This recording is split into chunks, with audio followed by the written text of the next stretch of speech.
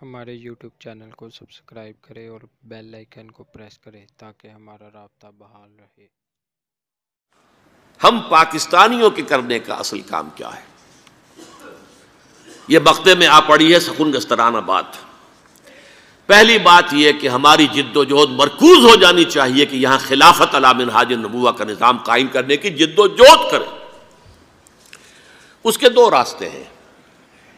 एक सहल रास्ता है अल्लाह ताला जिसके लिए भी इसको सहल कर दे। अगर बज़ाहिर तो बड़ा मुश्किल है, नज़र आता है कि लोग इसे कबूल नहीं करेंगे। कर लें तो फिर बहुत आसान रास्ता है।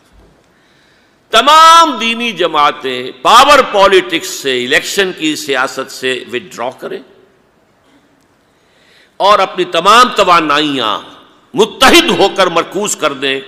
नंबर एक यह कि पाकिस्तान के दस्तूर में जिस कदर इस्लामी दफात आ चुकी हैं उनको जो गैर मुसर करने वाले चोर दरवाजे हैं, वो बंद करवाए जाए।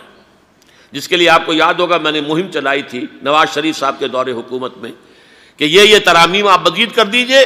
तो ये जो चोर दरवाजे हैं, जिसकी वजह से करारदाद मकासद हो, दफ़ा दो सौ सत्ताईस हो, ये सब के सब, और ये जो फेडरल शरीयत कोर्ट है, ये सब गैर मुसर पड़े हुए काउंसिल ऑफ़ इस्लामिक आइडियोलॉजी गैर मुसर पड़ी हुई है। है, सारी चीज़ें मौजूद। पूरा इस्लाम मौजूद है, लेकिन गैर मौसर है।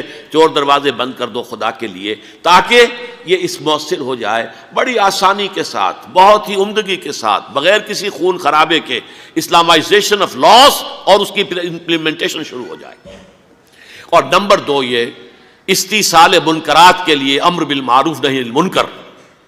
उसके लिए मैदान में आकर के हमें ना हुकूमत चाहिए ना इकतदार चाहिए, हमें सिर्फ़ ये चाहिए, ये हराम है, ये हराम है, ये हराम। इसे खत्म करो, इसे खत्म करो, इसे खत्म करो।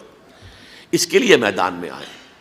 मन रहा इनको मुनकरन फल यद ही फैलन जस्तफ़िलसान ही फैलन कल्ब ही।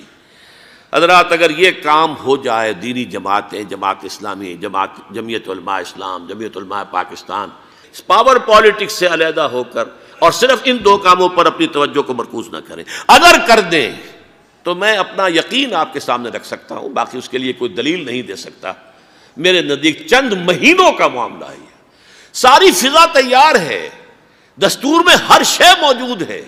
सिर्फ़ रखने बंद करने हैं, प्लग करना है, जो भी वहाँ से, जो चोर दरवाजे हैं, उनको बंद करना है, और उसके बाद यहाँ पर कवानीन का इस्लामी रुख के ऊपर ढलना और उसको नाफिज हो जाना। बहुत ही स्मूथली जैसे कि गेंद जो है वो चलती है किसी हमवार मैदान के अंदर फुटबॉल हो, उस तरीके से जब जो है the process will start rolling तीन महीने के अंदर मैं समझता हूँ ये काम हो सकता है।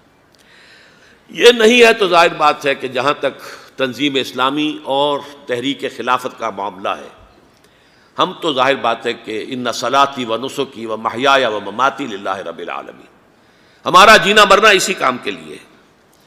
हमारी तो पेश नज़र यह है कि कम से कम दो लाख की तादाद में ऐसे फिदाइन तैयार हो जाएँ जो, नंबर एक, अपनी ज़ात और अपने घर में दीन को पहले नाफिज कर दें।